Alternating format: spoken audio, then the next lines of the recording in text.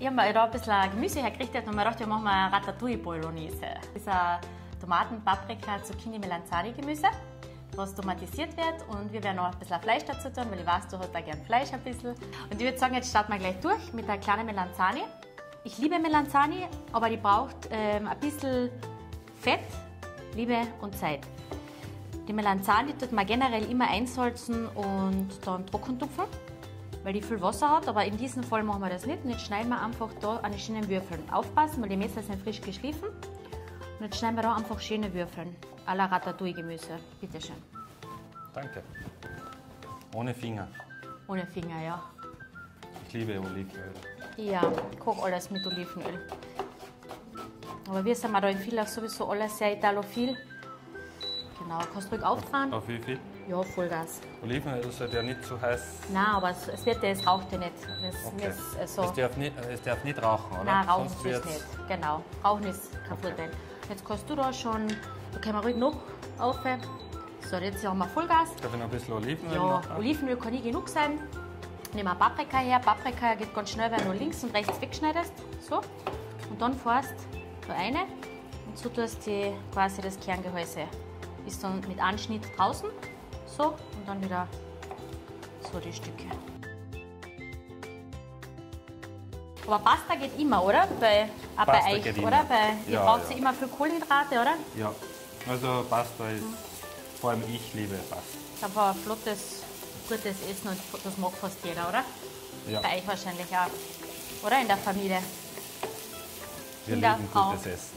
Ja, also alles. Ja. Na, wie schaut so aus mit der Ernährung als Sportler? Auf was muss man da besonders achten? Kein Fastfood ist einmal wichtig. Ja, Das ist No-Go. okay. Und, äh, Nie. Nein, also nur in die äußersten, kurz vorm Verhungern. Okay, also keine Chips und ein Glas Rotwein, so wie ich. nein, Nein? nein, das ist ein Okay. No-Go. Vielleicht sollte es auch mal mit Joghurt Rotwein probieren. Aber Rotwein passt, sein, ja. aber Joghurt passt zu schlecht zu Rotwein. Eben. Jetzt muss ich auf beides verzichten, sozusagen. Nein, entweder oder. Und die, die Energie holst du einfach ein bisschen durch die Zwischenmahlzeiten, die, die du noch als Sportler nachher Okay, und wie schauen Zwischenmahlzeiten aus? Was, was isst man da so? alles möglich.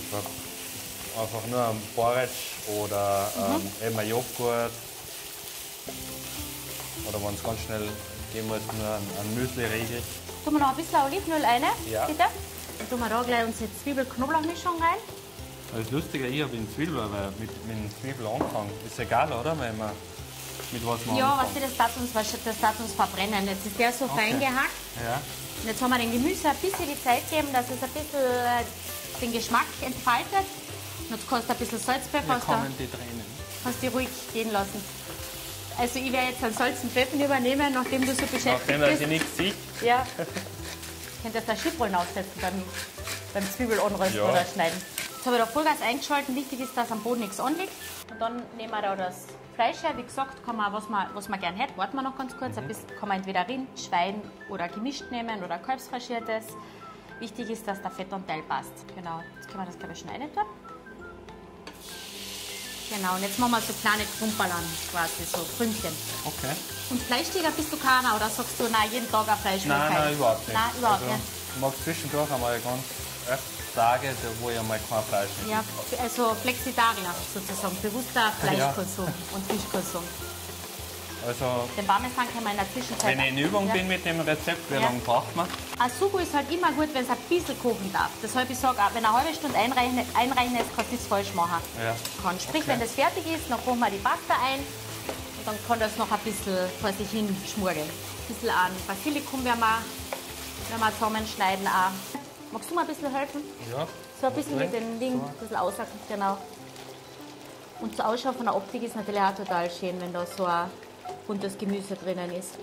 Und wie gesagt, wenn man es für die Kinder macht und die da so hackelig sind und kein Gemüse wollen, dann nimmt man einfach eine Portion aus und, und passiert es. Dann tun wir es tomatisieren.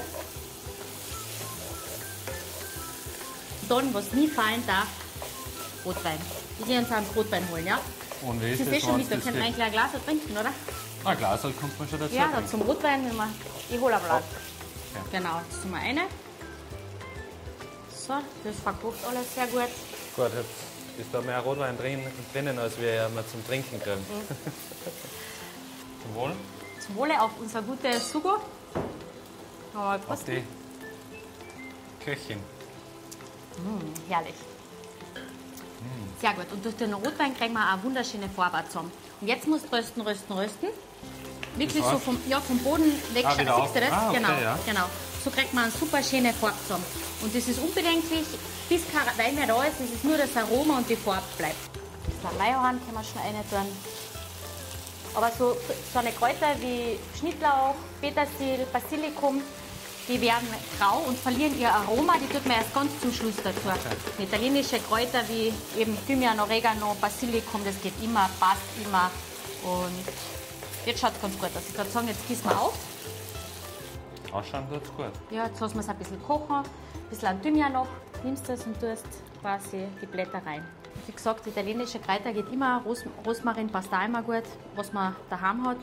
Ich habe total gerne ein bisschen Chili drinnen, aber nachdem es für die ganze Familie passen soll, auch für die Kinder, tue ich immer für mich extra ein bisschen so getrocknete Chilischoten oben auf. Die Nudeln tun wir dann direkt da rein, dann tun wir es mit dem Sugo vermengen und Das ist dann, dann ein zweites Werkzeug für mich, weil ja, brauchst mehr. so, ja, nein, sonst mit dem komme ich glaube ich nicht zurecht. Ja, na passt, da werden wir noch was haben für dich. Nur sehr mild, Ja, so ein bisschen Pep für Ja. ein bisschen. Ja. Was wird das dann dazu dann? Ein bisschen Salz, Pfeffer wieder noch dazu tun. Bisschen an Majoran kann man noch dazu tun. Was man auch machen kann, ist zum Beispiel da diese Parmesanrinde, kann man mitkochen. Ah. Die gibt den Geschmack da jetzt voll fein ab. Super. Das ist eh super zum Schneiden üben, da mit diesen, was dir das da, Ah, mit den, mit dem Trick, dass man nicht in die, die Fingerkuppen schneidet.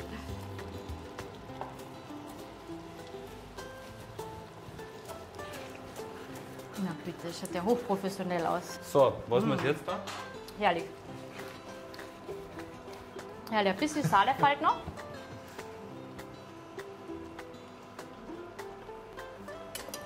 Und Pfeffer noch. So, und da sagen jetzt können wir die frischen Kräuter rein tun. Die Pasta dauert vielleicht eine Minute noch, können wir schon rein tun. Mmh. Sieht das schon schön aus. Und wichtig ist halt, dass die Pasta perfekt al dente gekocht ist. Und nicht zu viel, weil wenn man die jetzt rein tun, die Pasta, es kocht, es zieht ja noch ein bisschen nach. Genau, deshalb eben super al dente und immer ein bisschen Pasta was aufheben, das ist auch ganz wichtig. So. Da habe ich ein bisschen Pasta raus mitgenommen. Jetzt gebe ich die Pasta in den Topf. Jetzt musst du halt aufpassen, gell? Dass da nicht alles drüber fährt. Ja, ich gebe mir Mühe. Man rechnet so circa, im Groben sagt man pro Person 100 Gramm. Eine kleine Portion ist 80, eine große 120 und quasi eine mittlere Portion bei 100 Gramm. Okay, nicht für Sport, das ist mir gerade eingefallen. Ja, im, wenn ich Ja. trainiert habe, Ja. Mittag, halt dann, wenn ich eine Pasta gegessen habe, ca. 220 Gramm. Kostest du noch einmal für uns? Weil jetzt haben wir die Pasta dazu getan. Und siehst du, wie jetzt das alles schön benetzt ist? Mhm. Genau, falls man da noch, falls es ein bisschen trocken würden würde, würden, würden, würden, werden würde, hätten wir ein bisschen Pastawasser.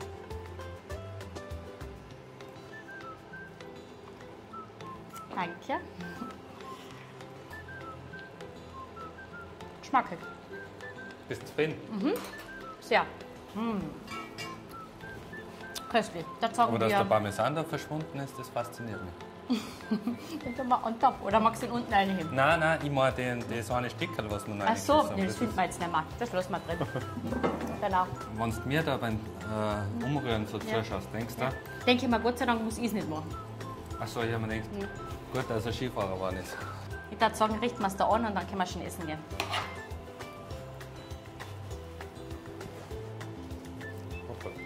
So kann ich sehen.